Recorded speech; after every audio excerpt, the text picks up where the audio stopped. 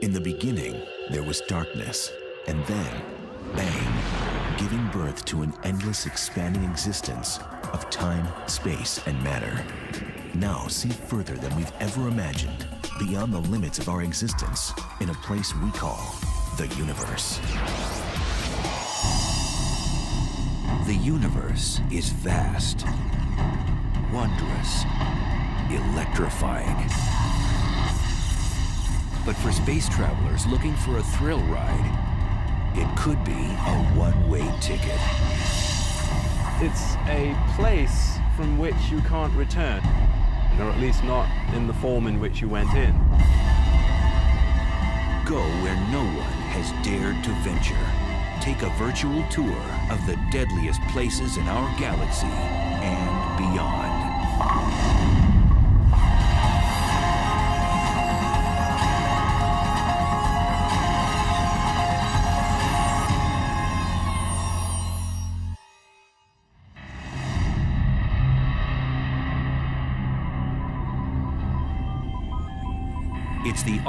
Frontier adventure.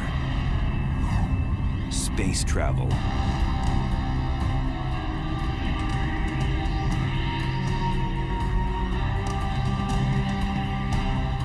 But when trekking through the galactic jungles, one must steer clear of the cosmic hot zones, places teeming with violence and intrigue.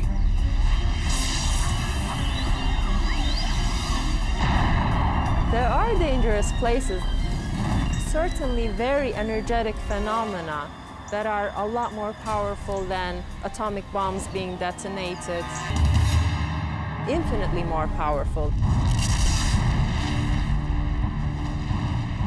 The universe does seem to be a very violent place. It seems to have been born in a violent explosion called the Big Bang, and there's all sorts of violent processes going on.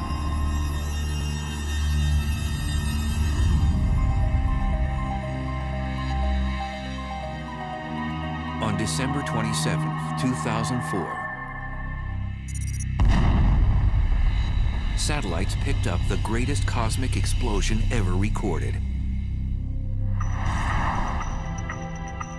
A blast 30,000 light years away, which had the power to briefly alter our planet's upper atmosphere.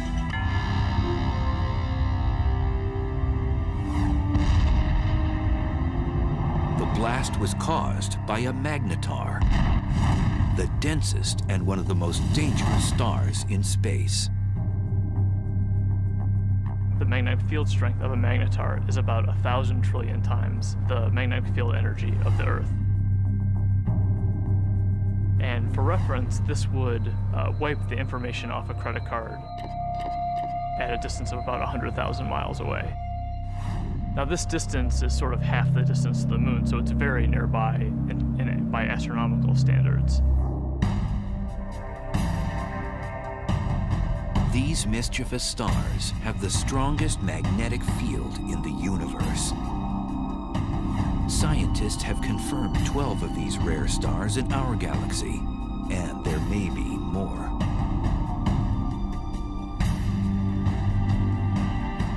Caltech's Brian Cameron scans the Milky Way for these strange stars.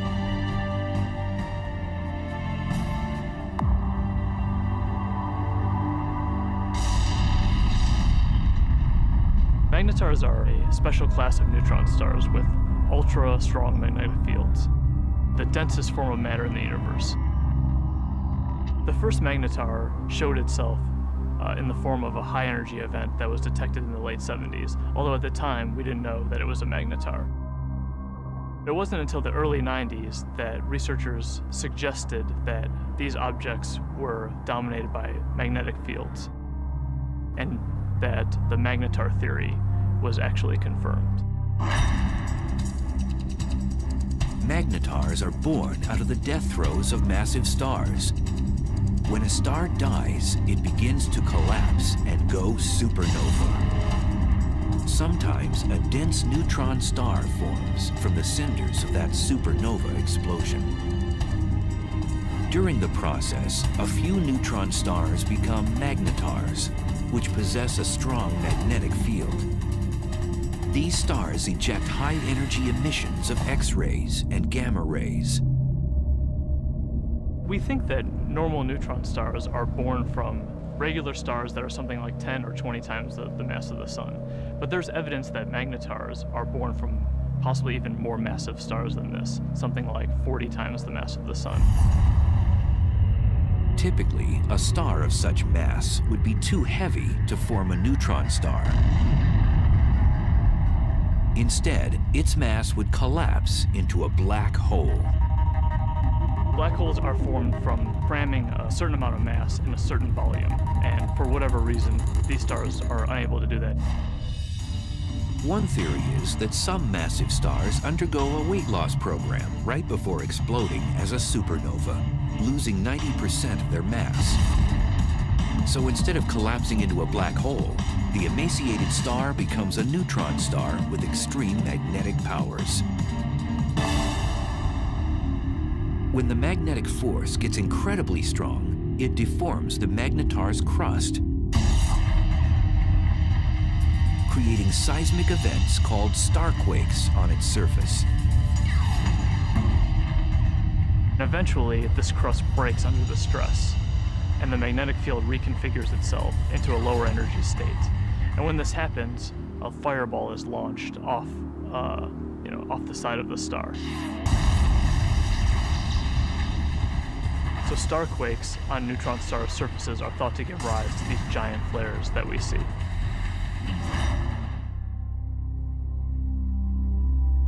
After a magnetar undergoes one of these flares, it outshines uh, all the stars in the galaxy for a few for the few tenths of a second that it's taking place. Within these giant flares are short bursts of gamma rays which move at the speed of light. The giant flares from magnetars are gamma ray bursts. They're very short in duration, less than a second, and have very hard X-ray spectra compared to another class of gamma ray bursts. If a deep space traveler veered off course and was unlucky enough to pass within 700 miles of one of these massive objects, the consequences would be horrific. The magnetic field of the magnetar can literally warp the atoms in human flesh, and its gravitational forces would tear a person apart.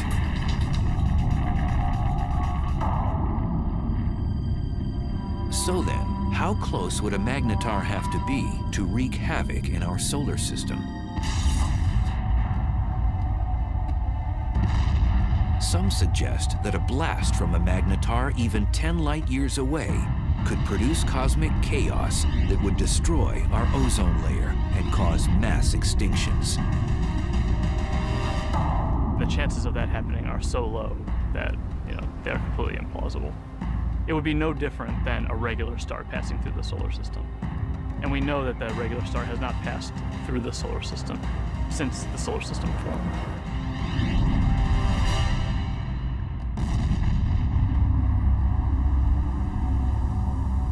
Scientists think that magnetars are only a few thousand years old and will become dim after 10,000 years. We're just now starting to understand the life cycle of magnetars. We think that they're very young, but how young is still uncertain.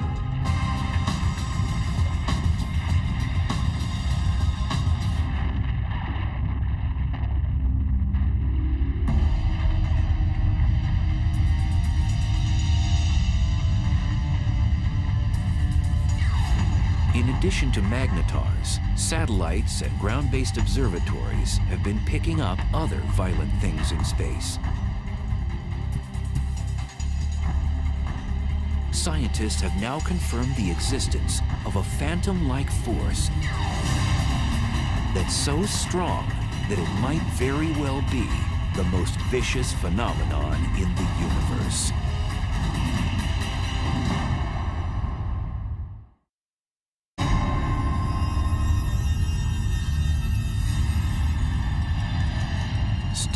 Villains haunt each and every galaxy. One particular beast tears up anything in its path and gobbles it down like a cocktail hors d'oeuvre. It's one of the most bizarre and destructive phenomenon in the universe, a black hole. I think a black hole is the place which is more violent than anywhere else in our universe. It's like going over the edge and you can't get back. It's fatal attraction, I suppose.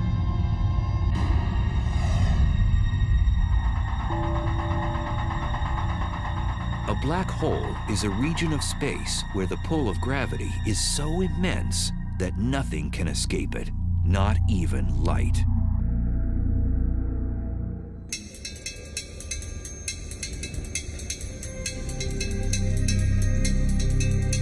Astrophysicist and triathlete Feryal Ozel is attempting to unlock the mysteries surrounding this elusive cosmic force.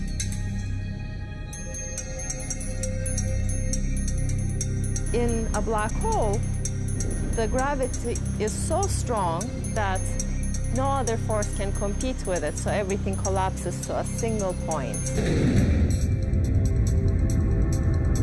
Ozel says whatever has a close encounter with a black hole will fall victim to its relentless tidal force of gravity. Imagine you're swimming in a pool and there is no current. You can go whichever direction you want. Now imagine you're taken out of the pool and you're in a river. Imagine a current that is much, much, much stronger. That the only direction that you could go would be with this current. The space around the black hole acts like this wild river. You could never fight this enormous drag that you feel.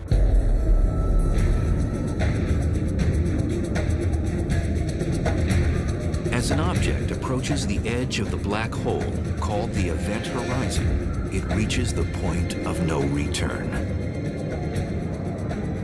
As you come closer and closer to this event horizon, you would already be approaching this extremely fast motion of space under you. And your only future direction is now into the black hole.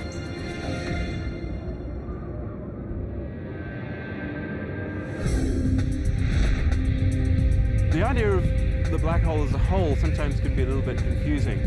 What it really is, in some sense, it's a place from which you can't return, or at least not in the form in which you went in.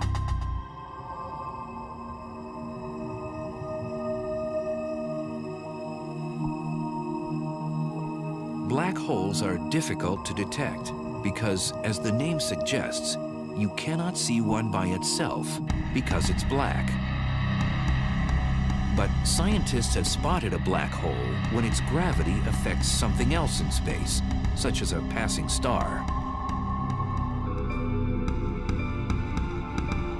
A completely isolated black hole would not be visible. What we really see from a black hole is actually the hot material that's swirling around it and that's being sucked into it.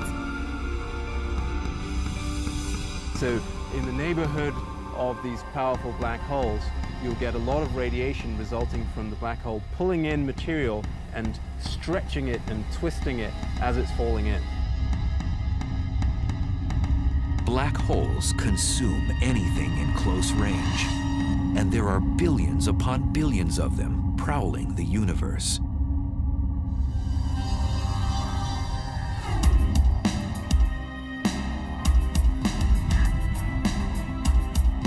Astrophysicist Andrea Ghez is one of the world's leading black hole hunters. Black holes are not picky eaters. They'll dine on whatever get nearby. So they will happily eat gas. They will happily consume a star or a planet. When a black hole dines on a star, it does so first by tearing it apart. You might think of silly putty being stretched out. And then just streams on in, sort of like water going down a drain. It's completely pulverized.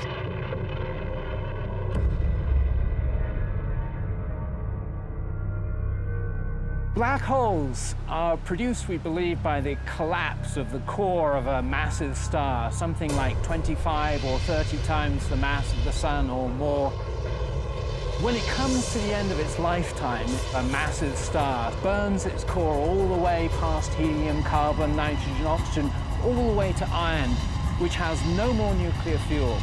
And when that iron core builds up to a certain mass, there comes a point where it can no longer support itself and the core will collapse all the way to a black hole, producing at the same time a supernova.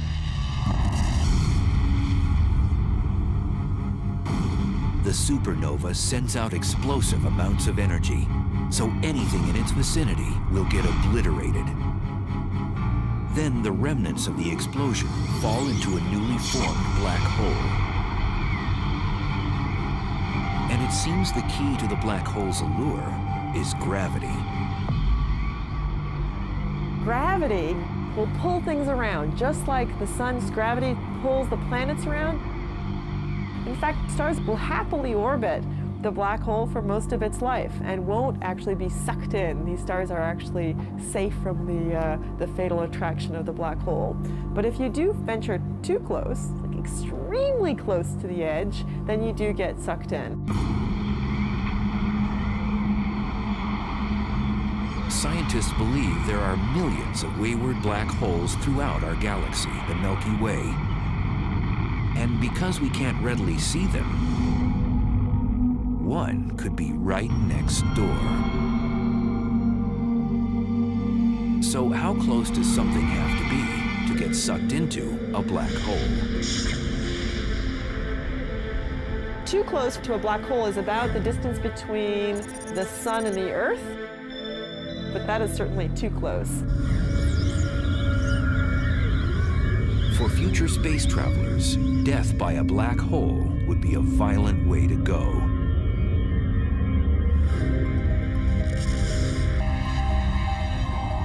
The method by which a black hole could kill you depends on how big the black hole is.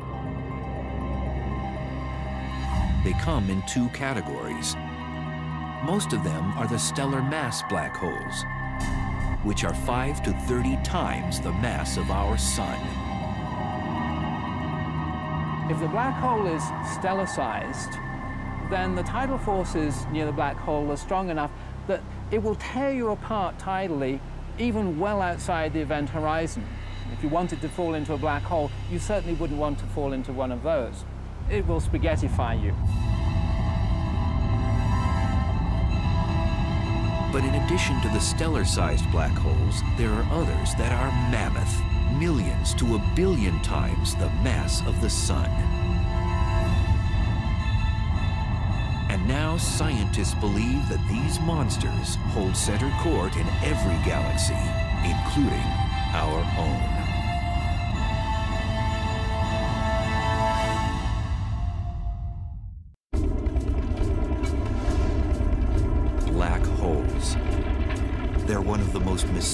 Mysterious and potentially dangerous oddities in space. A black hole has a ravenous appetite. It sucks in everything in its path and spits out what it doesn't devour.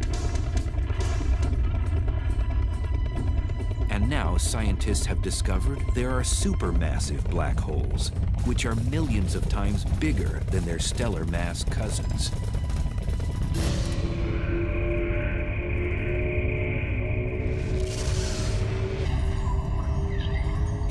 Evidence suggests that supermassive black holes were born after the Big Bang, when the universe was first created. The leading idea is that they would have formed just like a stellar black hole from the collapse of the core of a massive star. But then they grew by feeding grossly from the gas from other galaxies which collided with them.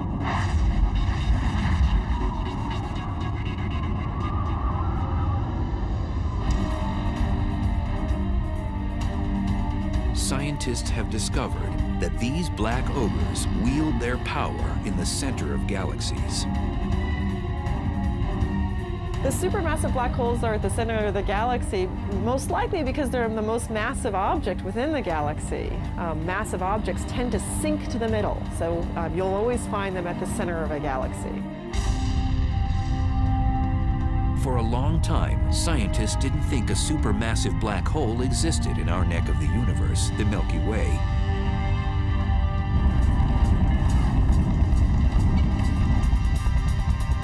But in 1995, astrophysicist Andrea Ghez set out to prove one exists. We've done an experiment over the last 10 years to ask the question, is there a supermassive black hole at the center of our galaxy? And the way we did this experiment is to use the motions of stars at the center of our galaxy to test whether or not there's a large amount of mass inside a very small volume. And that's the proof of a black hole.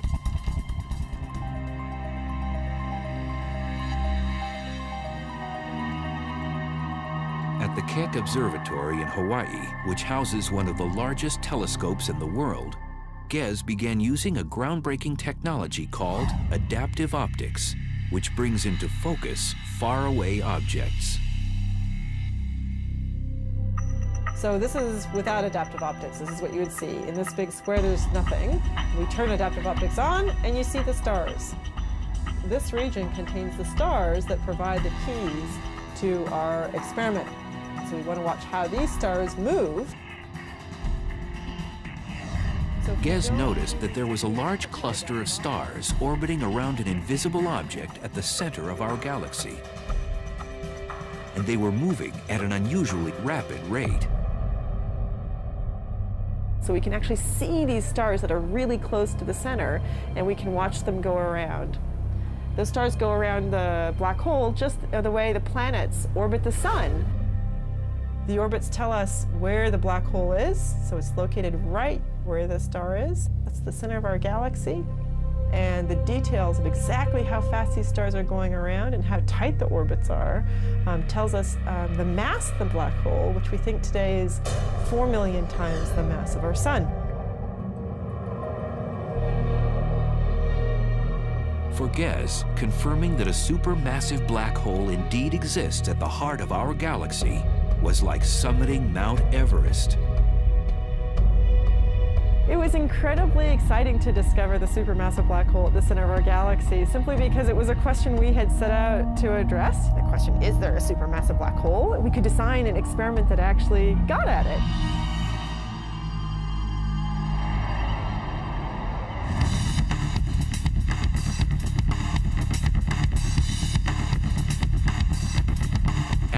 Astrophysicist Andrew Hamilton says death by a supermassive black hole would be much different than by its smaller stellar mass relative. If you want to go and be a tourist and have the ultimate experience of falling inside a black hole and finding out what's really there, go visit a supermassive black hole. Much better idea. Unlike a stellar black hole, which would rip you to shreds before entering its deadly vortex, a space explorer could actually experience free falling inside a supermassive black hole. Inside a supermassive black hole, it turns out that even though the black hole is more massive, it's also much larger in size, and that means that the tidal forces are weak enough that you could pass through the event horizon and fall deep inside the black hole without being tidally torn apart. But deep down inside the black hole, the centrifugal force of the rotation of the black hole provides effectively a repulsion. If there's any matter at all inside it, then stuff that's falling in will tend to collide with stuff that's trying to get out. And the result of that collision of energies is an unimaginably chaotic maelstrom of super hot, dense plasma. And in that case, your fate is that it can roast you.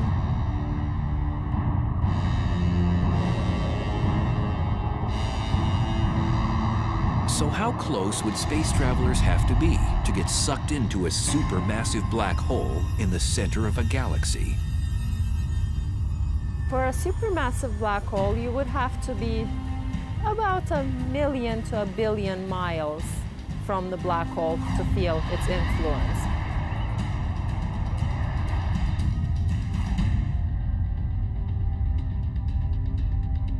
Over the years, the Chandra X-ray Observatory has caught our galaxy's supermassive black hole nibbling on cosmic matter, not binging like other supermassive black holes. Our black hole is today inactive compared to other black holes.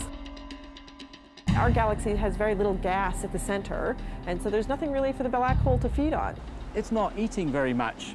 It's going on a bit of a starvation diet.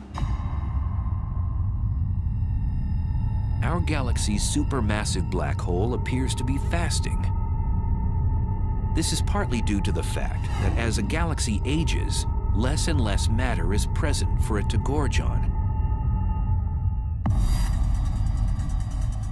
But in the future, it might be quite a bit more active uh, if it ever gets a fresh supply of gas at its center to feed off of. One way to rejuvenate our supermassive black hole's appetite is to collide with another galaxy. Sound implausible? Two million light years away, our closest neighbor, the Andromeda Galaxy, is charging toward us at almost 75 miles per second, or 270,000 miles per hour.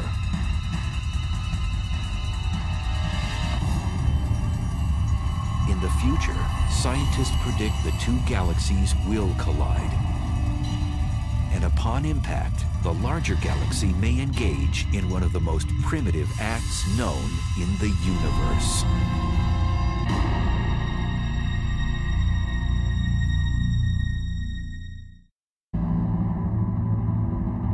It's one of the most barbaric rituals in space. A larger galaxy eats a smaller one.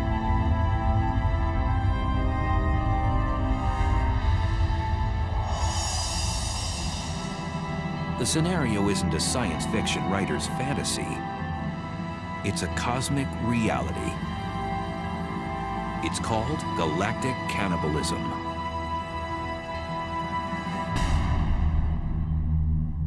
The ghastly event can occur on the celestial highway when two galaxies have a head-on collision.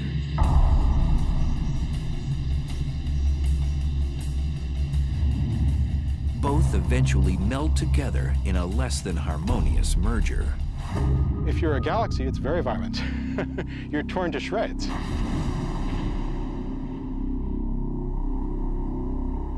Joshua Barnes studies galaxy mergers. Acting like a crime scene investigator, he admits his research is a bit like inspecting a car crash. Imagine that you come across the scene of a car crash.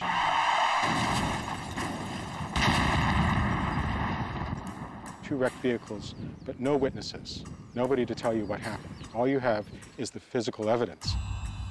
That's basically what we have to do when we study colliding galaxies. So there are no witnesses to a galactic collision. All that you have is the present state of the wreckage. So you have to conduct a sort of forensic investigation try and figure out what happened on the basis of what you have today. If they collided head-on, you would know because the fronts were squashed up, but if they, say, sideswiped each other, which is actually more likely in galactic collisions, that would leave you a completely different pattern of wreckage, and you could interpret that. So what causes galaxy mergers? It's gravity. Everything in the universe is falling freely through space, and where you've got two large objects like galaxies, their mutual gravity pulls them together, so they fall into each other. So it's really just the force of gravity pulling things around. The galaxies that we're seeing colliding today, most of them have been bound and destined to collide for upwards of 10, 15 billion years and they're only now just making it to that first collision.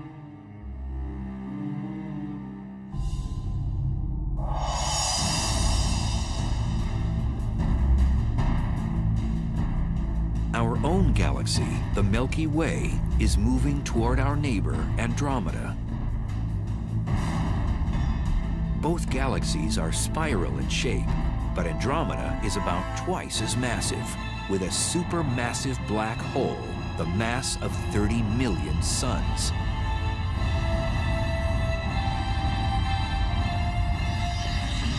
It'll look a lot like a dance.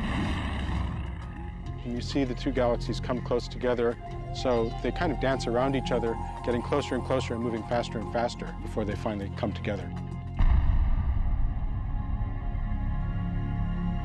But at the point of impact, these galactic dancers will do more than pirouette.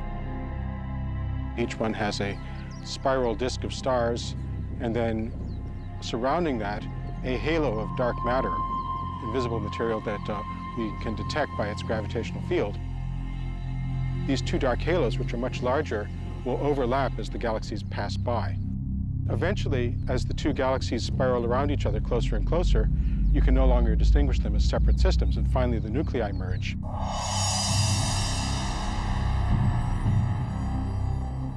When Andromeda and the Milky Way collide, that's going to be the biggest collision that the Milky Way has seen, something like five billion years' time. The good news is that we, the solar system, will have a grandstand view. What will happen is that two galaxies, their spiral disks, are going to get tidally torn apart into fantastical shapes.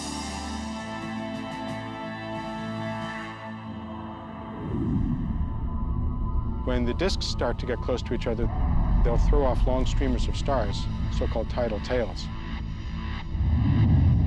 And what happens to the sun and the solar system should we still be around, it really is, is hard to predict. We could get lucky and be on one of those tidal tails and get a sort of bird's eye view of the whole process as we fly out. Or we could get thrown into an orbit plunging towards the center of the merging galaxies. Uh, there's basically no way to say.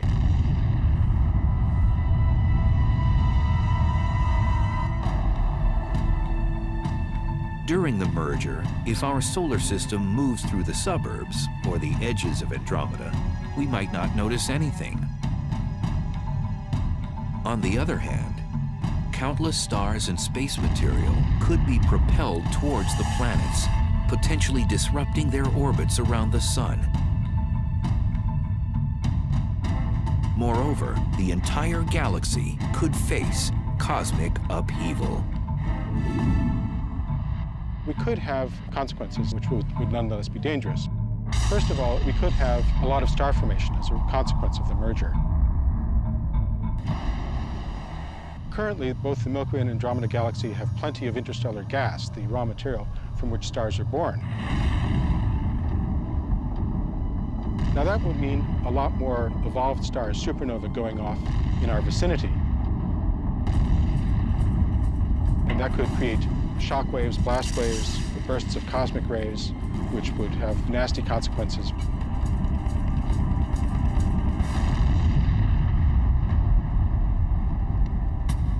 After the merger, the fate of our solar system is uncertain, as the supermassive black holes of Andromeda and the Milky Way vie for power in the newly jumbled galaxy.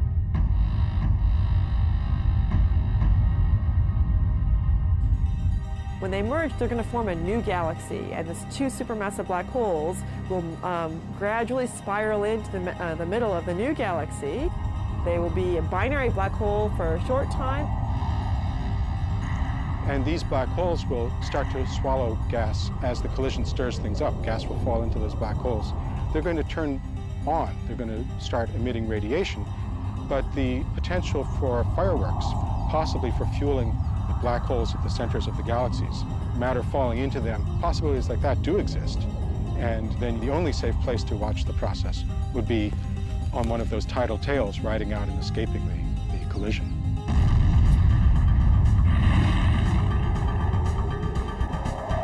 Some scientists think that Andromeda's larger supermassive black hole will eventually consume the Milky Ways. The two black holes will spiral in the center and become a binary black hole and ultimately will, will merge with one another to become yet an even bigger supermassive black hole.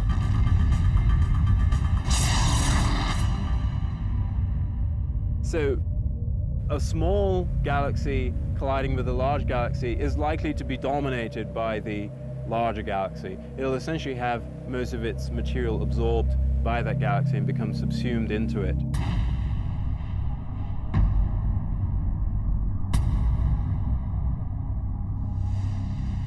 Scientists believe galaxy mergers are a way of life in the universe.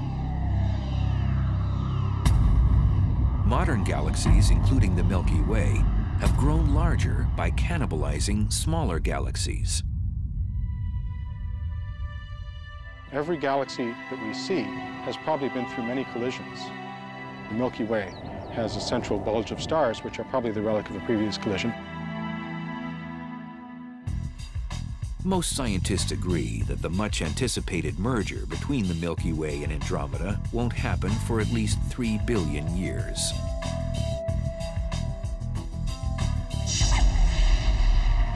But there may be more immediate dangers in space. In cosmic neighborhoods millions of light years away, there are hyperactive galaxies that have become the big bullies on the block.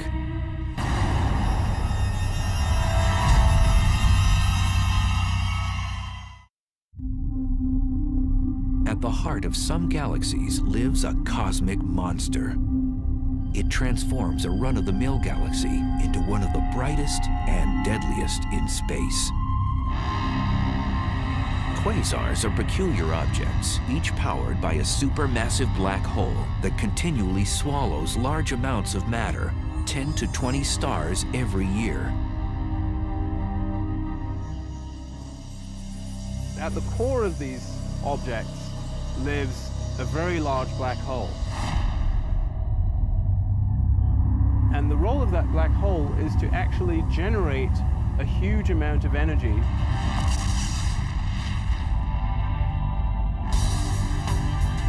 Quasars are the most energy-efficient mechanisms in the cosmos. They give off more power than a hundred normal galaxies. And they're 10 trillion times brighter than our sun.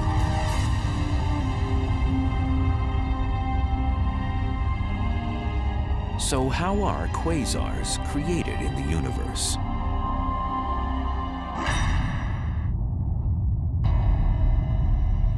there's a fairly good connection between the last stages of a galactic merger and the so-called quasar phenomenon. If that really happens in the case of the Milky Way and Andromeda, we could have for a period of some tens or possibly even 100 million years, a quasar active in the center of the merged galaxies. And a quasar puts out about 100 times as much energy as a typical galaxy. And if we were actually thrown into an orbit which took us towards the center of the galaxy, uh, we could get very close to that quasar and really get scorched. The word quasar stands for quasi-stellar radio source, which means star-like emitters of radio waves. The word was coined when the quasar phenomena was still a mystery. Now we know they're not star-like at all. In addition to emitting radio waves and visible light, quasars also give off ultraviolet rays, infrared waves, X-rays, and gamma rays. All deadly if something or someone gets too close. A quasar is a supermassive black hole at large distance that is active. It's powerful, it's emitting light, and we can observe it in many wave bands. Quasars were first discovered in the 1960s, but as radio telescope imaging got better, astronomers discovered that some of those quasars also have powerful jets beaming out of them. These particular quasars are called blazars, probably some of the most violent phenomena in the universe.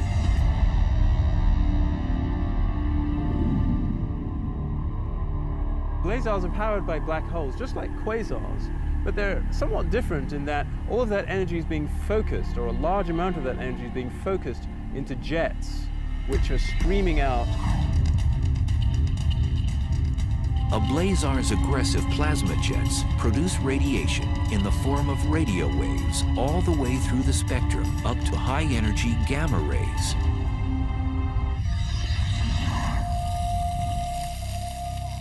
astrophysicist Glenn Piner has been investigating the physical conditions at the centers of these exotic galaxies.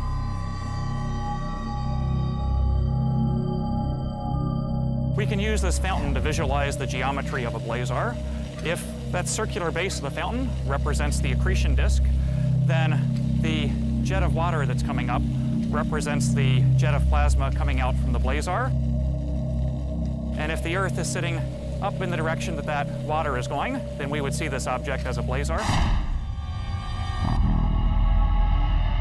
To an astronomer, it's like looking down a fire hose. It really gets you in the eye. You see this bright, blazing thing that we call as a blazar. These blazar jets move exceptionally fast. The fastest observed move at 99.9% the speed of light.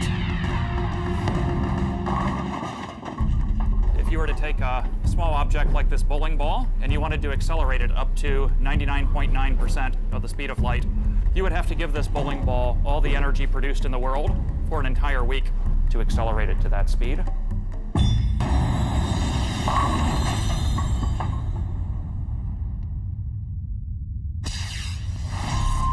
And in these blazars, we're accelerating not just small objects like bowling balls, but large masses of the mass of the planet Jupiter or larger to those speeds. So they're being given incredible amounts of energy by this efficient engine.